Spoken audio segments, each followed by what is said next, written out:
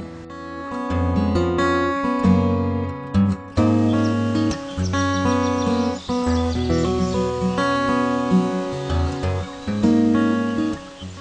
This is the Grove family dairy farm. This is my backyard.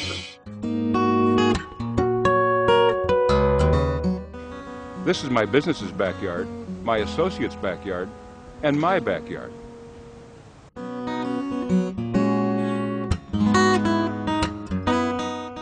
This is our backyard. I'm at the Mequon Nature Preserve and this is my backyard.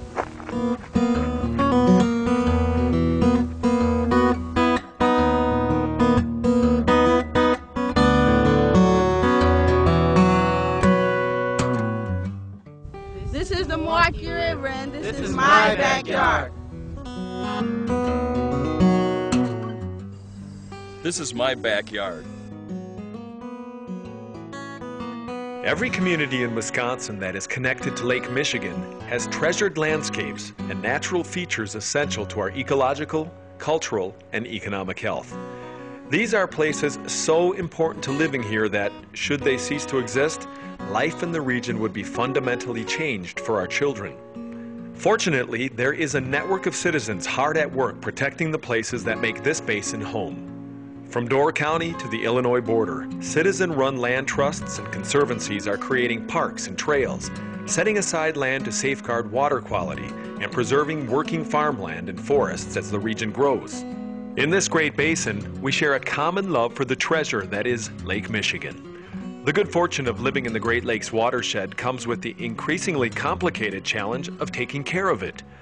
All the people in our communities, business leaders, farmers, policymakers, recreators, and landowners are invested in the vitality of our land and waters. As the demands on our natural resources expand, our land trusts are among our best community resources for protecting the places we all need and cherish. And we're lucky to have them because this is our backyard.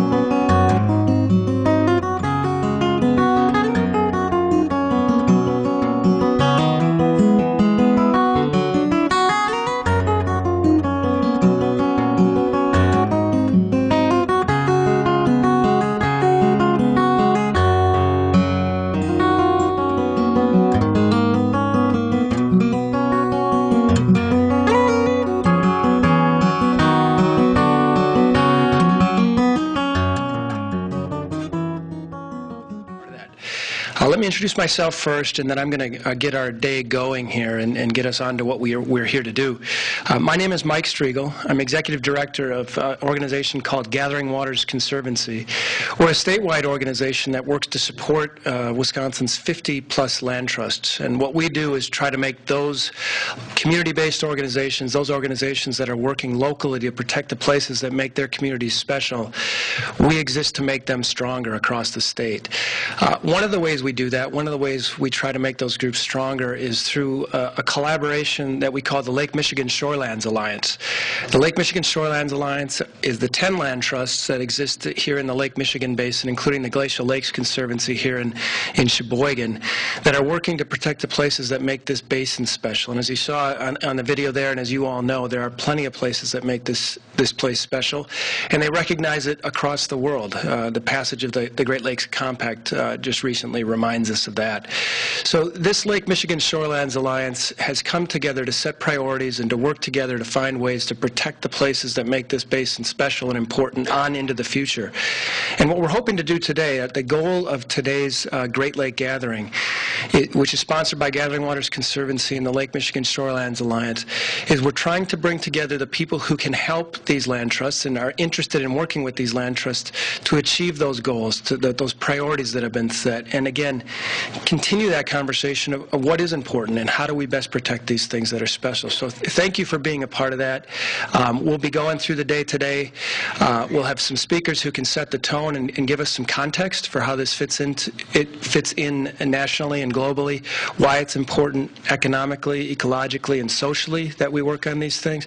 And I think exciting uh, one exciting part is we'll have a panel of people who are doing things here locally, some of the special things that are happening here that, that you can get involved in. And then we want you to walk away with, and you already have the folders in front of you, ways that you can connect uh, personally, and hopefully that you will be interested in, in connecting with these efforts personally.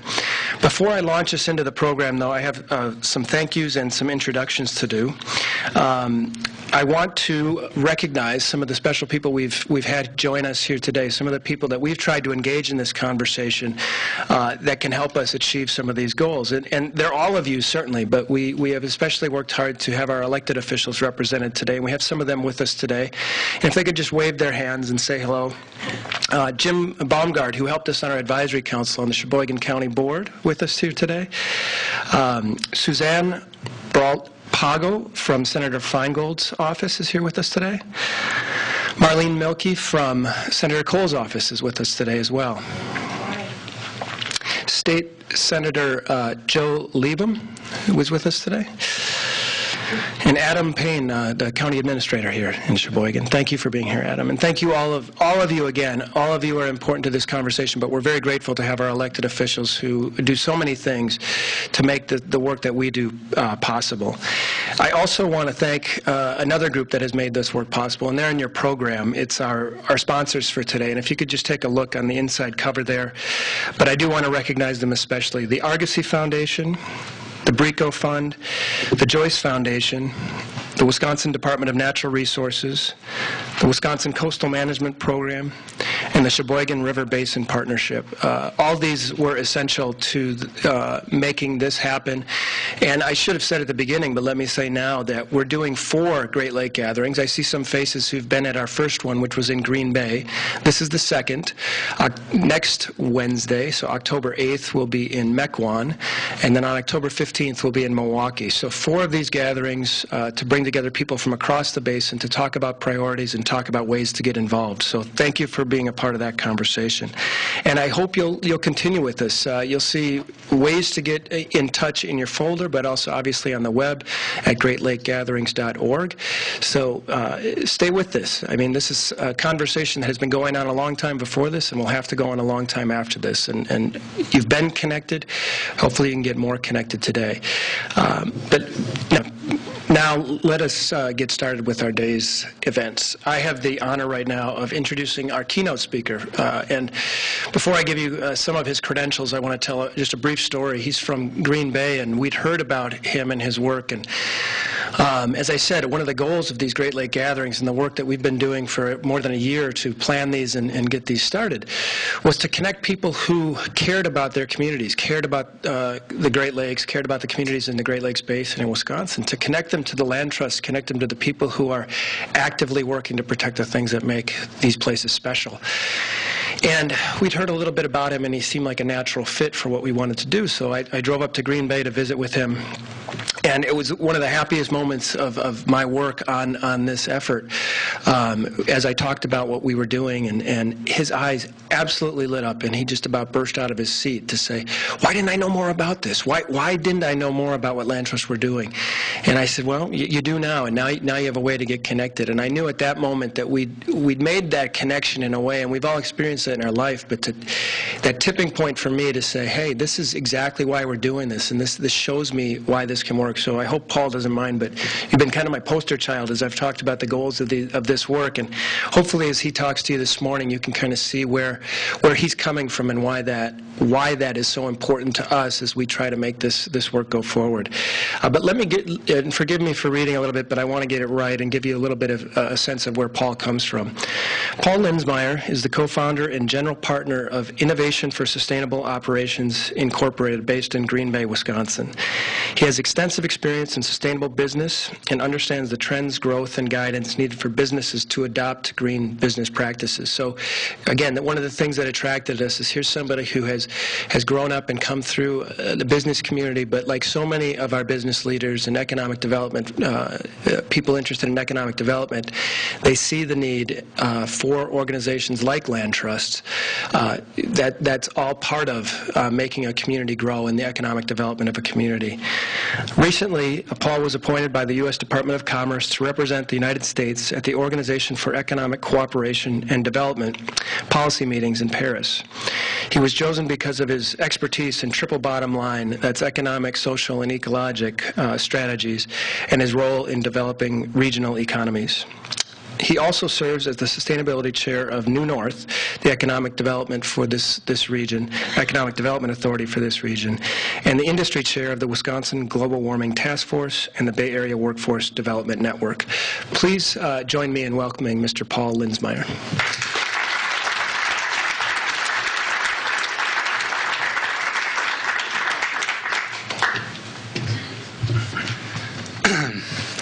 Thank you.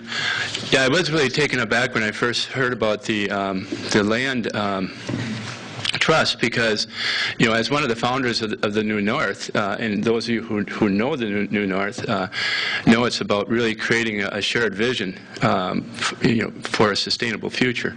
Um, that that one of my purposes was to bring together all the, the various people that were, would be part of, of helping develop and create a sustainable future for our 18 county initiative.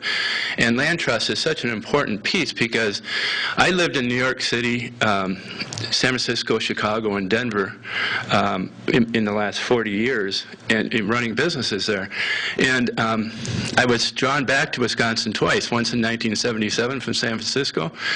And um, by the way, I had an opportunity to buy a house for 75000 four-bedroom house for the pool. I thought they were crazy. I came back to Wisconsin and bought a house for 18000 um, That house that I bought for 18000 might be worth about 50 or 60. the other house is probably worth about 2 million. But anyway, and I moved back from the mountains outside of Denver. And, uh, and one of the things I moved back for were, were memories and, and, and possibilities.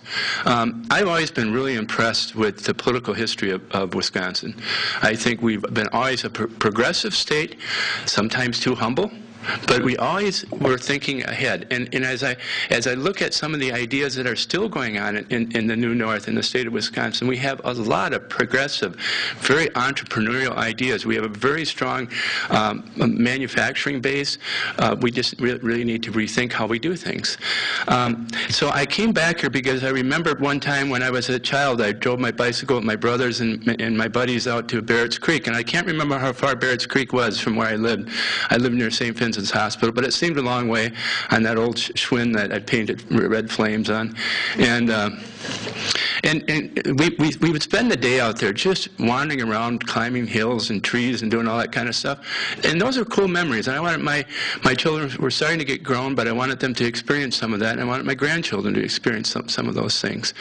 And even I wanted them to experience the fact that I brought home two little baby raccoons. And I forgot to tell my mom that they were down in the basement, and one got up and got in the refrigerator. When she opened it up, it jumped out, and that was the end of the raccoons. I had to bring them back. so you know, and I think we all have memories ab- about, you know, the, the, the night we, we spent, you know, uh, camping and, and, and, and, and laying out looking up at stars. But also we, we have memories of other things ab- about, you know, about what, what land trust can develop. But let me talk about, a little bit about the concept of sustainability and why land trusts by themselves are not a silver bullet. Just as business by itself is not a silver bullet, community is not a silver bullet. They're, they all have to have to have an integration. Sustainability is systems thinking on steroids. That's really what it means. It's it's understanding the interrelationship of all the systems that we deal with. Now, I, I was also an altar boy for the side altar masses at St. Willebrord's Parish in Green Bay, Wisconsin for Vince Lombardi. He had a separate um, service every day. And so I, I feel I can say this. When Vince Lombardi said something to the effect that winning isn't every, everything, it's the only thing, well, if you take that out of context, that's really wrong. And, and, and let me tell you why. Um, companies can win, but employees and communities can lose. Just take NewPage, for example. You know, you know, you know, we, we have to look at, at as organizations. What are we doing, uh, not just to, for the betterment of a company, but what are we doing for betterment of society i- in general, and and what are we doing for the bet- betterment of environment? Let's take a look at a little bit at this this mess we're in with the financial situation. And I, I don't prove to be an expert at all, but look at all the winners for so long. People who bought homes who really shouldn't have been able to afford it. One. short-term. People who got incentives to, to, to, to give mortgages to people who couldn't afford it, One. Banks won people were winning constantly, but because they were winning i- in, in a vacuum, and, and the, the system basically imploded. So, so we, we have to remember that we are a system. We as a community are a system, and we have to understand.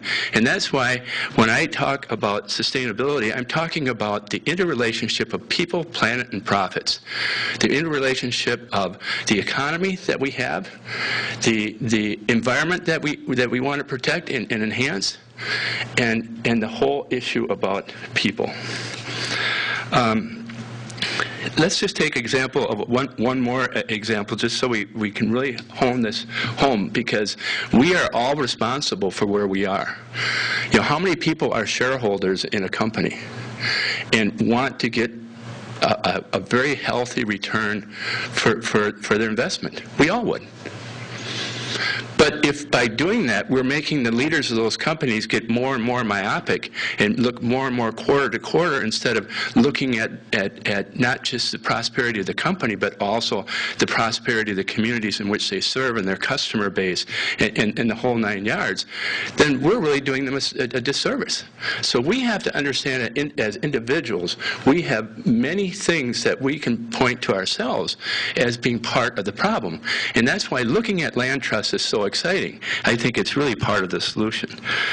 Um, I think one of the things that is really exciting about Gathering Waters and the people that are around it, and a lot of the people in this room that I got a chance to, to meet earlier, is that you are the ones that are filling a void of leadership in this country today.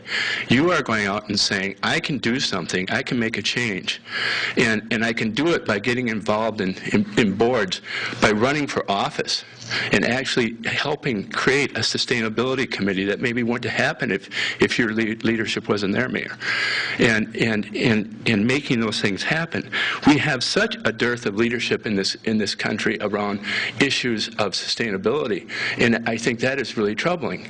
I am on an international committee. I just got back from New York last week representing the United States. I was in Paris in April uh, to, to show the, the international community that there is business leadership coming to the table who understands the principles of the triple bottom line and really wants to make those things happen. And again, that's why I think it's so exciting to hear about land trusts because land trusts are, are part of, of a picture of a community and a state, a, a community, a region, and a state. Think about this. Why do companies come to a community? Why do companies stay in a community? They don't stay because they get tax cuts and financial incentives and the like. They, that may be part of it. But they really stay because the talent is there. The people with the skills are there. And what keeps people with talent in communities, in regions, and in states? Is because it has the, the type of diversity of, of entertainment, of art, of, of, um, of community spirit, a community culture. That's what makes pe- people want to be there. So, you know, I, I think we got to really start looking as, as we're trying to develop our economic plans as a subsector, the city of, of, of, of Sheboygan, or as, as a bigger subsector, if we call this whole freshwater coast. Um, you know, having having some sort of brand or metric, or if we start talking about a collaboration with the, all the Great Lakes states, and how do we create that as a as a brand of a place that we want to be? That is what we really need to have to become effective, and that's the message I'm sending to the international community: is that we have companies and we have communities in this country who understand the value of, of putting people, planet, and profits first and understand that you can't you can't optimize any one of those three triple bottom line theories without sub-optimizing the other ones. You have to have it at an equal level, and so and so you need to have programs to make that happen. So. Um, I, I think you know as as we as we look at um, at, at, at some of the things that, that, uh, that really uh, draw talent here, it's, it's, um, things such as um, roads, buildings, public service, uh, public transportation, healthcare, education. But it's also things like what is what is our view of, of public art, and how how does art in in architecture make a statement for our community. Now, I know that the city of Sheboygan has done just a remarkable job with this shorefront.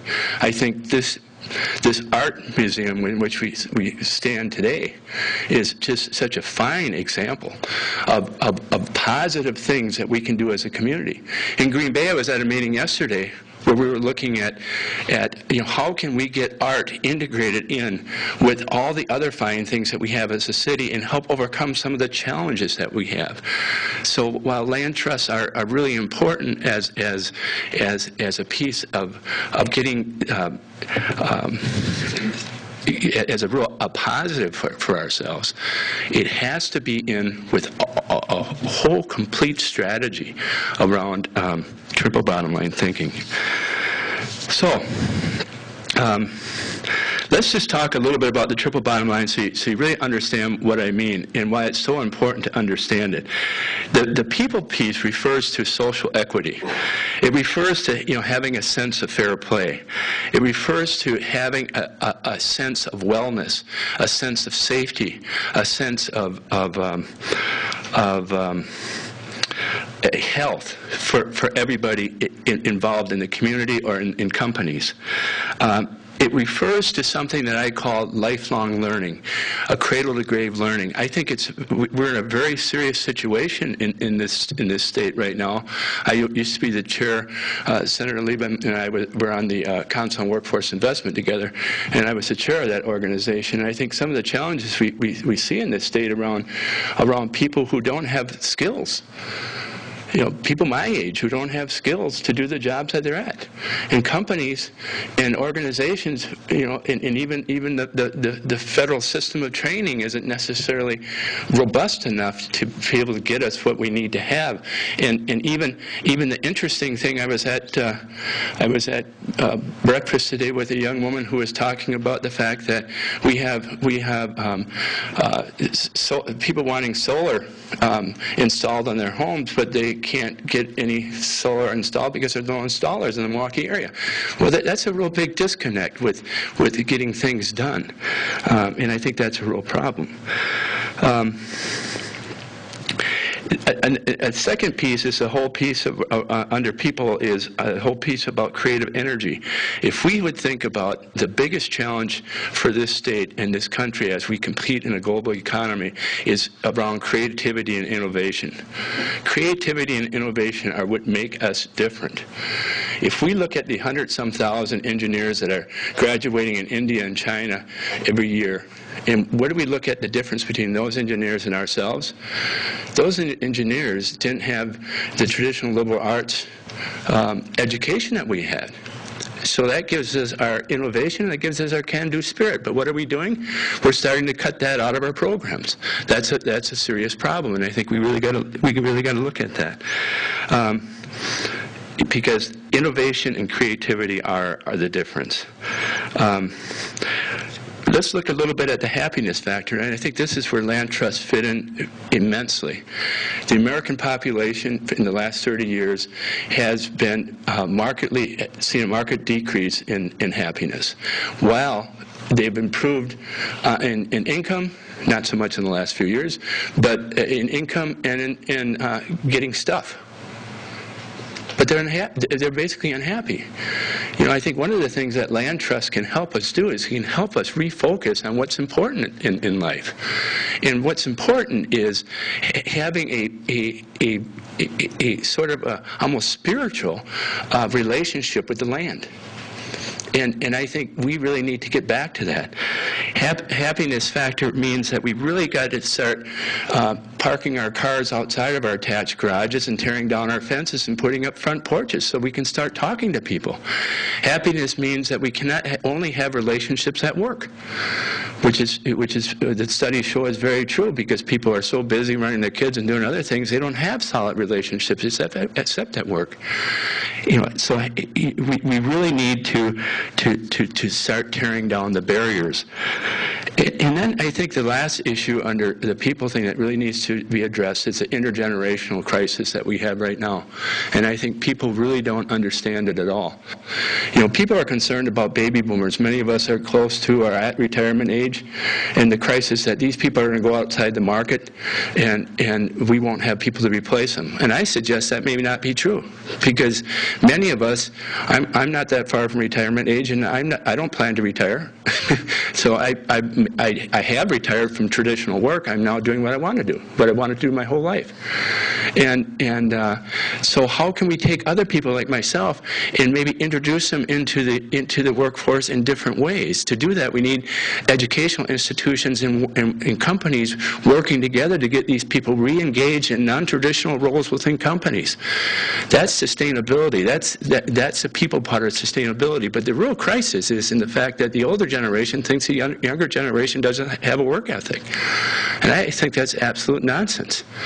They just don't have our work ethic, and maybe we ought to reassess ours. You know, when, when, when many of us put the priorities for work ahead of, of family and, and, ahead of, of, of enjoyment and ahead of happiness, I think that, that creates a real problem. And so for us to have a, a, judgment against this other generation, if we don't think we have this in companies, I've been all over the country and all over the world talking to companies and going inside the bowels of companies. Is This is loud and clear. And, and it's, you know, the intergenerational issue is huge and it's being ignored. So I think we, we really need to, to get to the bottom of that. As far as the second piece of the triple bottom line, the planet, we obviously need clean air and water. And, and I, I think, um, you know, as chair of the industry council of the, of the of the Wisconsin Global Warming Initiative, I really got an education on on first of all, what are the problems, what are the issues, but what are the barriers to collaboration? And I think part of the part of the problem is is many of us are successful in our, our in our own right. We do things really well, but we have no idea of, of what we do, how it affects the system, how it affects other parts of the system, how it affects, you know, how do, how do I as a business person affect, um, you know, uh, society? You know, well, I give donations, you know, to, to charity. Well, you know, no, that's not good enough. That's, that's not what it's about. It's about how do I as a business get involved in the community, either by helping get some, some of my employees on boards or, or on committees, or actually working, targeting a specific charity that, I mean, really going all out to try to fix a problem, like the fact that we have a, a, a tremendous achievement gap for for for, for um, children who, who who don't have uh, support systems from birth to five years old. That's a serious problem. Many of those people are going to be, many of those children are going to be um, come uh, uh, problems for the state in the future. So as, as, as, as organizations and people, we have to reach out and do more. We have to understand how all the systems connect. And that's one of the reasons that the New North itself is a picture of sustainability because we have every single stakeholder, except land trusts, and now we got them, uh, at the table talking about problems together, bringing their various lenses and, and fixing things. So that's, that's a really important point. We need to, we need to have places to, to recreate and, re, and relax. And I think that's one thing that, that Land Trust can help us with. Because I think one of the things that's really lacking is people reconnecting with nature. My company, we, we, we wrote, um, uh, we wrote a, um, our employee handbook um, that is probably really unusual. Because it, it doesn't have a lot of prescriptive things. Uh, but it does have one thing, that four days a year, we're going to spend a day in, in very intimate uh, communing with nature. That we really under, that we were going to do something really special so that we never forget our true relationship with nature. Um, and, and I think that's, that's really important. Um, I already talked about the, uh, on the whole planet thing, that in, in the environment piece is, is you have to be con- concerned not only about the health of the water and air and, and, and all that, but you have to be concerned about the actual environment. You know, looking at Richard, Richard Florida's creativity index, which Wisconsin scored relatively low, especially the Green Bay area. Um, you know, and, but since then, I think we've done a lot of good things. How do we actually look at what makes people want to be part of our community, and how do we look at things that makes people really want to be that our community really appears to be vibrant because not only appears to be because it is, and I think that those are things that are really important. Under the profits things, I think we, we really have uh, to look at at strong economies, which are, I, as I talked about earlier, are built uh, on uh, talented people. We have to look at diversity. We have to look at immigration. We have to have real talks about those things. We can't leave it to politicians. We have to talk about it. We have to understand it. And then we we um, we need to start talking about things like as as business leaders and as community leaders about living within our means, about overconsumption. We really need to have real dialogue on those things, or, or I, I think we're just going to continue on this downward spiral. Um, and then the last thing is we really need to have 21st century accounting principles. We are using 19th and early 20th century accounting principles to, to drive us in a, an economy which is driven on 21st century global principles. And when I talk about that, what I, what I mean is we need to look at leading indicators rather than lagging indicators. And I talk to my companies about that all the time. Because if you're looking at leading indicators, some of the stuff that's happening today is not going to come as a surprise. For example, they've been talking about, there have been re- reporters talking about this, um, the, the, the, the home uh, bubble for at least six years. So if somebody said this just came up on us, you've not been, not been watching. So, you know, I, I, I own a lot of property, and I and I made some real wise decisions. Now I look back at it a couple of years ago, and and and I, and I, I basically divested and, and got into some other things. Well, our, as companies and as communities and as organizations, not for profits, are we really looking at leading indicators that could really have a substantial effect on us? Look at the whole NGO field, not for profits. It's going to be tough to get money now. I mean, you know, it's just going to be a challenge. It's been a challenge for a long time, but it's going to be a bigger challenge. How are you going to survive? Have you thought about, you know, a contingency plan? That's sustainability. That's that's what that's about. Um, it also means that when you're looking at capital projects, and I, am working with uh, a, lot of institutions that are doing major, major, you know, 200, 300 million dollar projects, and um, and you know, besides looking at the, their, their capital costs, you know, one of the things they're trying to do as they propose these to their boards and their and their funding institutions is is how can they get you know get the return on investment to satisfy their boards and their investors. Well, if you start looking at projects in a different way, if you look at the, the capital costs of the project, but then you look at the operating costs of the system by, by, by going to a lead, a LEED or a green style system, if you combine those two together, you're obviously going to have a better, uh, a much better story to tell. And it really is all about the story you tell, it, it, whether you can convince somebody to, to engage in that pro project or not. But the problem is, is, is in the traditional accounting mechanisms, they want to use today's today's dollars, everything in today's dollars. Well, we know tomorrow, tomorrow's dollars aren't going to be the same as today's dollars. Just look at trends. And so we need to have accounting principles that look at these things differently.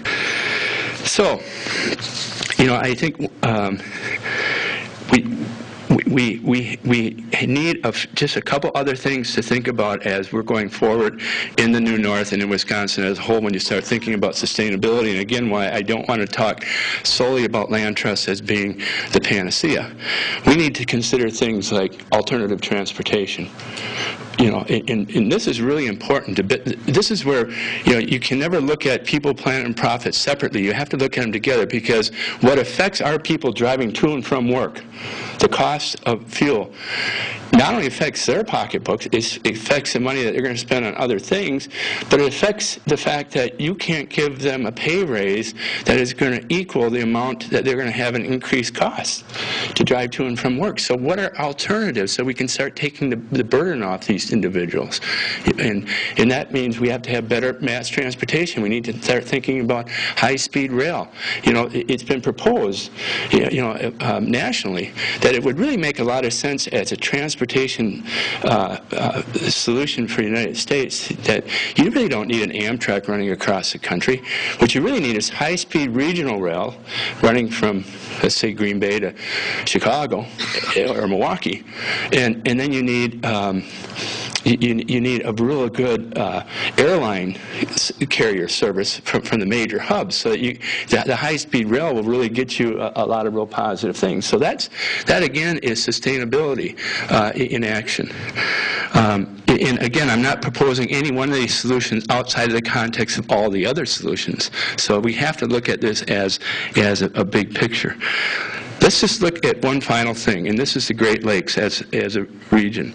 The Great Lakes as a region has all the power in the world. We can be the, the, the third largest economic engine in the country. But we can only do it if we collaborate. But one of the challenges, I, I'm bringing in a speaker for the New North called Richard Longworth, and he wrote a book called Caught in the Middle. And he, what he says in that book, and I agree with him 100%, is our biggest problem is we have not recognized the value in collaboration. We have not recognized the value. In the New North, we've started crossing county lines, we start crossing municipal lines, but we haven't recognized the value in, in, in the true value in collaboration yet. So we haven't even thought about reaching out to other states in, in, in, in, this, in this Great Lakes region and really look at, at the opportunities we have. Think about this, a possibility. If we would, if we would take, these states are all um, high manufacturing states. Why don't we leverage that manufacturing expertise and combine it with our excellent, we have some of the best educational institutions in the world in, the, in these Great Lakes states. Why don't we start collaborating and start incubating new business and new ideas around water technology, around, around um, green technology, and start creating jobs in, in, in, um, in business, incubating these ideas by, by, through collaboration we just aren't there. But that's not that's not our thought process, and I think that is really where we need to go. If we start reaching across to other states, and this is a political thing, but it's it's it's also us. We're part of the political process. If we can actually help our legislators and our governor understand the value of, of collaboration, we can make this stuff happen. But we can't if we just sit back and wait. You know, we had a we had a man die who I was I I, I, I liked him as an actor. Um, I thought he was pretty amusing and and, uh, and did a pretty good job. But I think he was probably one of the finest men I knew. And I first met him. I didn't meet him personally. You know, a lot of these people you meet in movies. I met him in uh, when I was a freshman at Marquette in 1969, and you know they would have free movie day or whatever. And he and he and uh, and uh, Joanne Woodward were in this movie, and it was something about a race car or something. And he was going to take his new new newly wedded wife to Milwaukee for honeymoon. And you know I, that's the only part I can remember of the whole movie. But I thought it was so funny. Like, why would you do that? This man really is, you know, I, I was very emotional when he died because he, he did what I would want to do. He did what I am doing. He, he gave a lot of money to things that he believed in. You know, he said something that, you know, so often it's now only about winning. It's not about the, the moral and ethical thing to do. I mean, God, does that say a lot? And he wasn't talking about any one particular administration. He was addressing the administrations in general.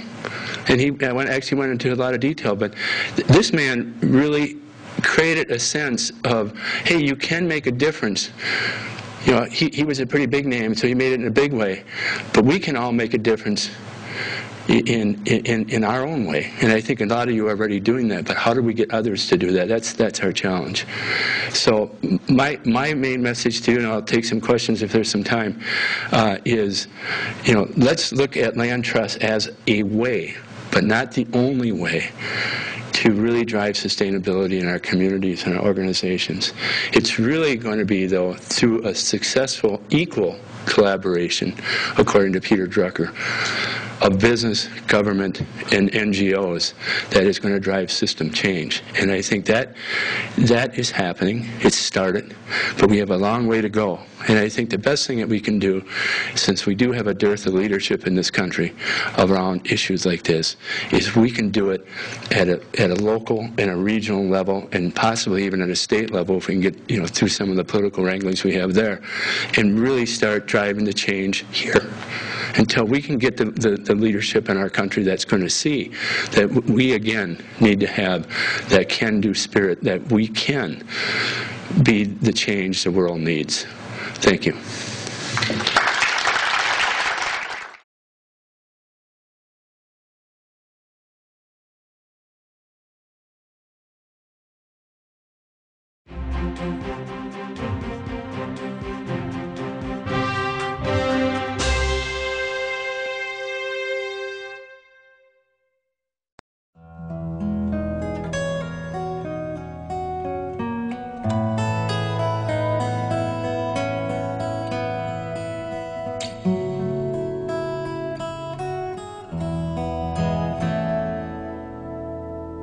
Hi, I'm John Gumto. I'm a member of the Sheboygan River Basin Partnership. We're here on Willow Creek today. This is one of our projects we've been working on for a number of years. And uh, we're right outside the city of Sheboygan.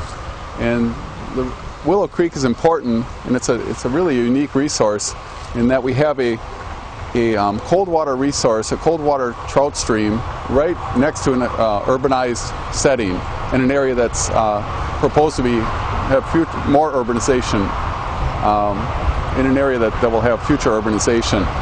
And through our work back in the early 2000s, there was some documentation of cold water fish species, coho, salmon, brook trout, brown trout in this creek. And that wasn't known before. Since we've gotten involved, we've done some more surveys and found out that we've got not only coho and chinook salmon, which are Great Lake fish species, We've also got brook trout and uh, brown trout, which are native to these types of smaller streams. In addition, we've got steelhead trout that are also another Lake Michigan fish.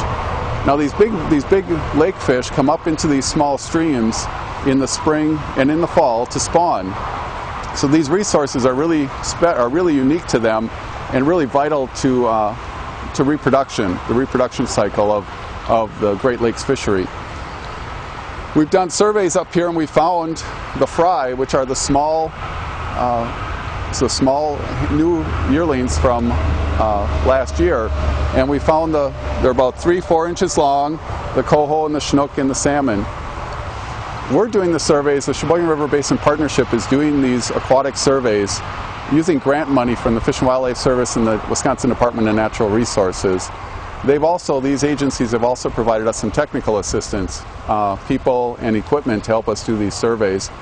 So through these surveys, we've been finding these small fish and the larger fish.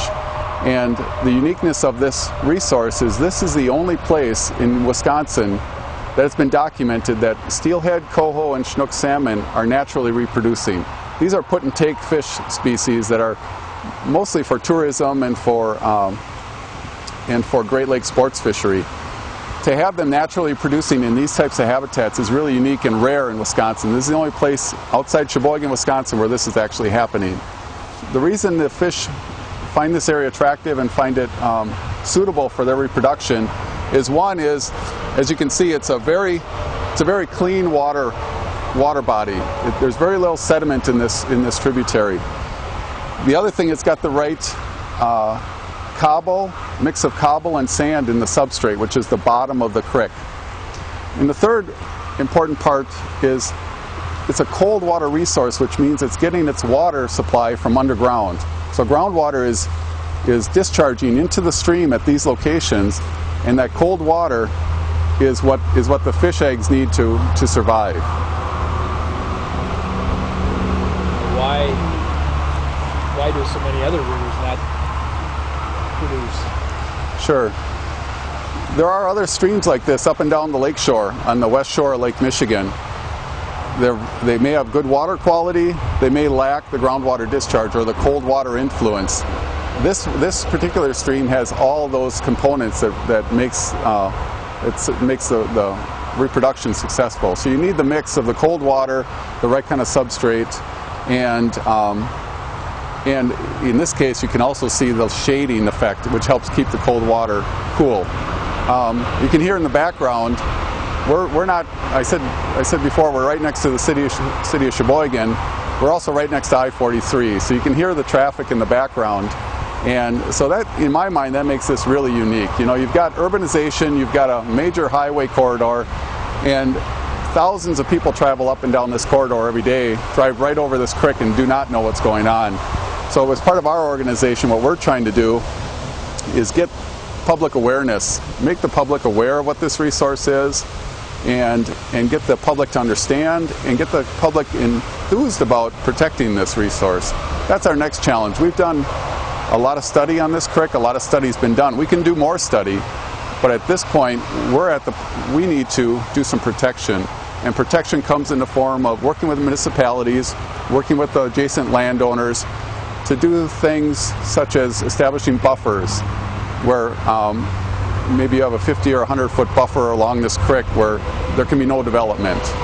Or uh, uh, providing more shade cover, providing planting some trees next to the river to provide some shade cover, which again will help cool this, the river down.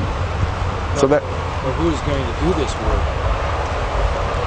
The work's going to get done in a lot of different ways. It's going to it's not going to happen by a state agency alone. It's not going to happen by a local unit of government. It's going to happen through uh, cooperation of all those entities. And the money's not going to only come from one place either because this watershed is, the Willow Creek watershed is separated by five different municipalities. We've got Village of Kohler, Town of Sheboygan, Town of Sheboygan Falls, City of Sheboygan, and Town of Sheboygan. And all these municipalities have their political boundaries through this creek. So we need all these groups to pull together and, and understand what the resource is, why it's important to protect, and what we can do to enhance it. Um, I really feel that a stream like this running through a, a, piece of property or running through a municipality is something that can be enhanced and, and enjoyed by a number of people and not just considered a waterway to convey water. It, you know, we just walked and coming down to this spot, we just walked on a trail. A lot of people use this trail. My vision of this area would be there'd be a trail that connects along Willow Creek that connects City of Sheboygan Falls to the City of Sheboygan, and people can look at this at this stream and enjoy it. Now I noticed some of the signage. This this has been a, a little park trailway. Some of the signage needs to be worked on or redone. Yeah, we've got a number of different initiatives going on right now for this for this Willow Creek. We're we're working with the municipalities to develop a stormwater management plan. We've got recently did a brochure that we can hand out to the public so they can understand the history and the, the uniqueness of this resource. We've also entered into a recent project where we're, we've got signs we've developed, very durable signs that can weather the weather conditions and weather the elements that will help explain to people what's happening here along Willow Creek and it will be there for many years to come. Some of our partners on the sign program are University of Wisconsin Extension, uh, Wisconsin Department of Natural Resources, Sheboygan County. We're, get, we're looking to get funds from Wisconsin Public Service Corporation. So we're, again, this is a multi-discipline effort, trying to get a lot of partners together to fund the re, to fund some of the initiatives we have, and to get the get the word out to the public.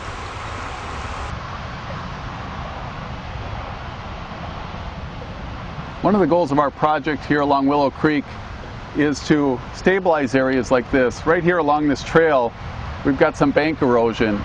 And one of the projects we have coming up is to do some activities to stabilize this bank so it doesn't continue to wash. When it washes, some of the fine soil material washes into the stream. Not a big, that's not a, a, a big deal in a small section like this. But when, you, when we go further upstream and downstream, there's some other areas where this bank erosion causes a lot of sedimentation to enter into the waterway, and that sediment can cover the, the fish eggs during critical uh, times of, of egg, egg incubation. Now, are some things going to be done to correct this or, or behind the bank? Yeah, yeah. What we'll do is we'll come up with some very simple techniques to stabilize this bank. It may include putting a rock, a series of rocks along here um, to hold the so hold keep the water away from the soil. We could put some fish structures here, some bank cover structures uh, to keep the keep the soil back and also allow some to keep to keep the soil back, but also to allow some some plant material to grow behind it. The bank erosion and the stabilization we're going to be doing along Willow Creek will happen wherever it's needed. As a river system, as a river moves down, there's different cutting and depositing that goes along along the banks. And this area just happens to be an area where there's some severe cutting along the bank. For the most part, though, this is pretty, pretty. Uh, there's pretty, pr very few areas like this. The history of Willow Creek. Willow Creek starts up in near Sheboygan Falls, near the intersection of Highway 23 and 32. In that segment of the of the of the channel, it's it, there's a lot of agriculture land use around the channel. The channel's been straightened, it's been dredged, and it's been culverted and rerouted. So one of the challenges we have at River at, along Willow Creek is to reverse some of those man-made influences that have happened over the years. Um, but as, as the creek moves to the east and flows closer to the city of Sheboygan, the geology changes. And when the geology changes, we start picking up some of these larger cobbles that are shown that, that show up in the river. And the river also starts to pick up a gradient.